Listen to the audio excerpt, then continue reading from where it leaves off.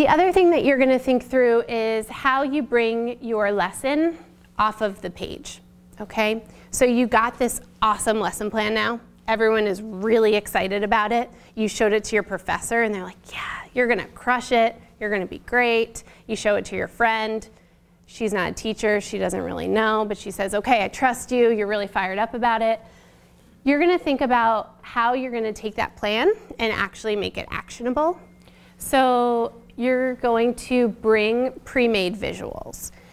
I can't tell you how happy it made me when someone would come for their demo lesson and they had their little piece of paper and they had their little tape in their bag and instead of writing out this chart, not that you all are judging me and my beautiful handwriting, but they just put that right on the board, I knew that that teacher meant business and so did the students, right? Because the objective is then posted, so no one has a question about what you're accomplishing in the next 15 or 20 minutes.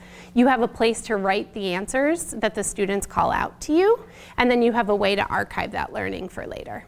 Right? So think about how you can do that ahead of time. You also don't know what the room is going to look like, so having something that you could just slap onto whatever surface is going to reduce your stress um, in a huge way.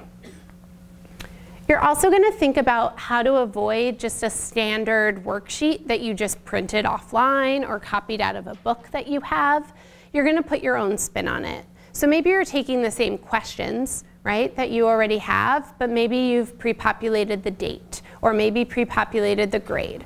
Whatever it is to make it unique and show that you think through those types of details is going to be very important. All right?